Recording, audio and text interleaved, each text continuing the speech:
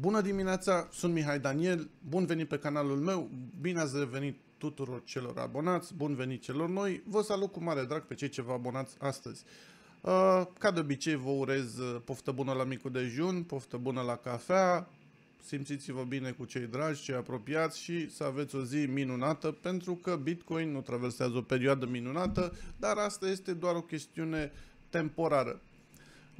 Uh, Astăzi am să vă zic uh, niște mici secrete din uh, industria cripto despre cum fac banii mari rechini, marile balene, mari investitori și de ce strategiile lor sunt bune și de ce strategiile uh, la restul pieței sunt doar pariuri sau pură loterie sau pur casino. Haideți să începem cu începutul. Haideți să începem dimineața cu indicatorul de teamă și lăcomie. După cum poate v-ați dat seama, prețul de astăzi este mai mic decât prețul de ieri. Însă, indicatorul de astăzi este mai pozitiv decât a fost ieri. Ieri a fost 15, teamă extremă, da, astăzi este 18. O concluzie așa la pe moment este că oamenii încep să se obișnuiască cu situația. Da? Și să-și dea seama, domne, asta e impactul, a căzut, nu știu ce, ăsta e levelul și să obișnuiesc.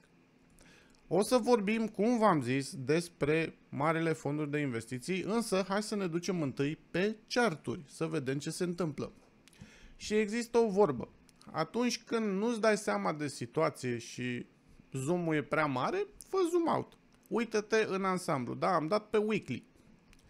Aici, zona asta, este ce s-a întâmplat anul trecut când am avut corecția, da? Și piața a căzut... Piața. Bitcoin a căzut uh, 50%. Acum, ce se întâmplă cu Bitcoin? De aici, de sus, a căzut până în momentul de, în care ne aflăm noi acum 40%. Dacă ar fi să cadă 50% cum s-a întâmplat data trecută, am ajuns undeva în zona de 34.000. Da? Noi aici ne uităm pe ceva ce poate să devină un M-pattern, ceea ce nu e prea bearish, da? care a început în 7 septembrie 2020. Da? Hai să măsurăm să vedem câte zile sunt de când a început distracția. De fapt, a început mult mai devreme. A început aici, în uh, martie. Da? Haideți să vedem câte zile au trecut de atunci. Până în prezent, au trecut 658 de zile. Da? Din punctul meu de vedere, asta este o structură de piață.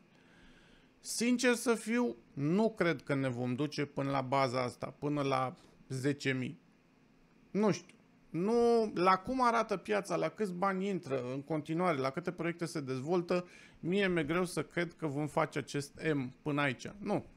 Eu cred că asta e structura de piață și undeva, într-un dramatic caz, 29.000, 30.000 pentru Bitcoin ar fi un mega ultra bottom, da? Uh, aici, vedeți, când s-a încheiat uh, corecția asta, am avut niște volume, vă reamintesc, suntem pe weekly, da? Deci pe un time frame foarte mare. Fiecare lumânare din asta înseamnă o săptămână, da? Acum, volumele nu sunt atât de mari. Uitați-vă pe toată perioada de după corecție, nu avem volume mari. Când piața s-a umflat, vedeți aici, am avut niște volume destul de mari. Acum nu le avem, da?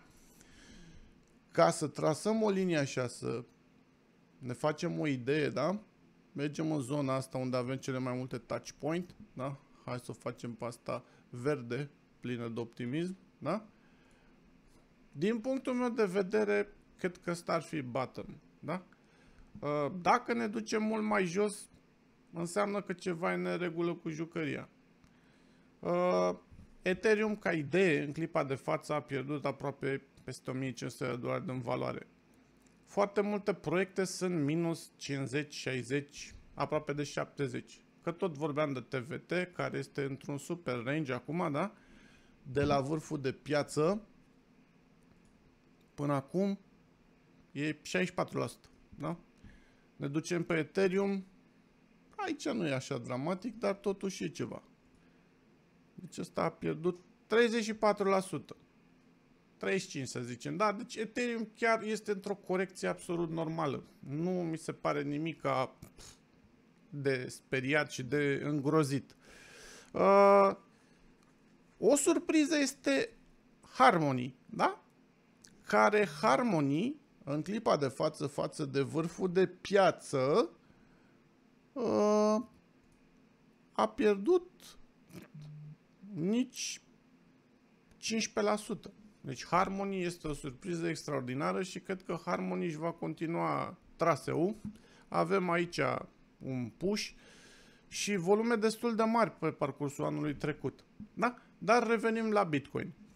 Deci în clipa de față, aici, este o zonă în care dacă rupe acest 41.000, 40.000, nu prea mai are suport. Da?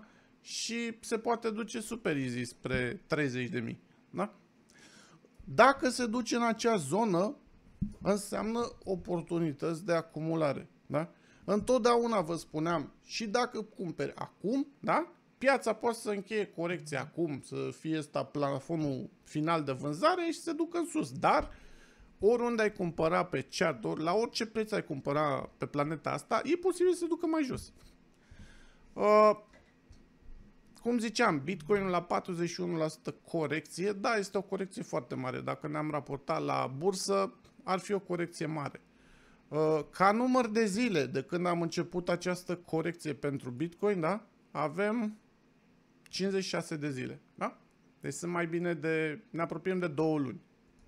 Data trecută, când am început uh, corecția anul trecut, aceasta a durat până în momentul în care piața s-a redresat 77 de zile. Toată lumea, țin minte, agonizau, erau speriați, vreau să renunțe, nu știu ce. Foarte mulți au pierdut averi pentru că n-au ieșit, n-au vândut atunci când trebuiau să vândă. Acum, măcar cei care vreți să investiți și aveți portofolii, să cumpărați când trebuie să cumpărați. Da?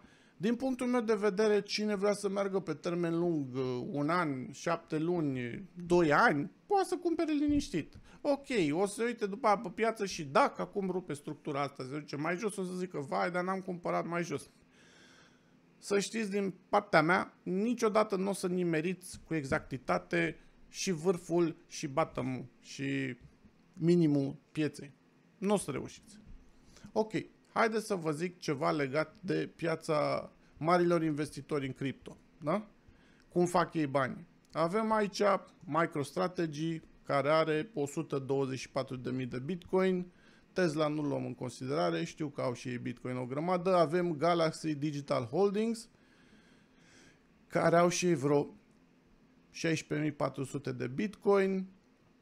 Mai avem Voyager cu 12.600 de Bitcoin. Da? Haideți să vă explic cum stau lucrurile aici. Deci aceste companii mamut nu cumpără Bitcoin sau Ethereum de dragul de a colecționa. Nu sunt colecționari, nu este un hobby. Ei cumpără ca să facă bani. Și atunci, o să vă zic așa, aceste companii cumpără la anumite praguri și vând la anumite praguri. Aceste companii vă garantez că nu fac daily trading, da? Că n-au de ce, pentru că îi cumpără de sume mari. Și atunci, dacă vă întrebați, bă, dar de ce stă piața între 40 și 50 de mii două luni? Păi de ce? Ca să cumpere. Dar de ce stă piața la între 20 și 30 de mii două luni? Ca să cumpere, da? După aia, când trece de 50 de mii, 55 de mii, de ce stă între 55 de mii și 65 de mii două luni? Păi ca să vândă. De ce? Pentru că ei au sume foarte mari. Dacă ar pune pe piață să-și încaseze profiturile tot ce au într-o zi, două, piața se duce în cap instantaneu. Da? Pentru că nu este atâta cerere. Și atunci se creează aceste zone în care ei cumpără și vând. Restul sunt detalii. Aceste companii nu cumpără în fiecare zi. Aceste companii cumpără când avem genul ăsta de corecții care sunt alimentate cu știri negative, cu tot felul de reportaje, cu tot ce se poate. Când marile companii, mari rechini trebuie să cumpere, da? Piața este bombardată negativ. Acum suntem la 41.000, să zicem că ne ducem mai jos. Mulți zic, domne, de ce se întâmplă asta? Care e justificația? O fi Fed-ul, că au anunțat americanii că inflație. Nu, tăticilor, nu. Niște oameni cu foarte mulți bani trebuie să cumpere. Da? Și piața ei nu cumpără la 60 de mii, ei nu cumpără la... Atunci când cumpără cei care le alimentează lor profiturile. Nu. Ăștia cumpără atunci când lumea se teme să cumpere, da? Cum e acum perioada asta, da? Și ăștia zic, bă, dacă eu cumpăr la 40.000 acum, într-un an de zile Bitcoin sigur se duce la 80.000, da? Că asta e evoluție de piață și dacă se duce din nou la 60.000, da? Dacă au cumpărat la 40, au 50% profit. Când investești un miliard, 50% profit înseamnă 500 de milioane. Simplu, da? În rest, Mari trader cu 500 de euro, 1000 de euro, 10.000 de euro, 20.000 de euro, 100.000 de euro nu sunt trader, da? Sunt oamenii care alimentează portofelele ăstora. Uh, deci cam asta ar fi. Legat de Bitmarket, săptămâna viitoare mi-au promis uh, ai mei programatori că s-ar putea să fim uh, live cu noul design. Vreau să vă anunț că vom avea o serie de parteneriate. Vom avea un parteneriat cu o casă de modă care vor lansa o colecție de costume la noi pe site și vor, veți putea cumpăra aceste costume direct de la noi de pe site cu cripto.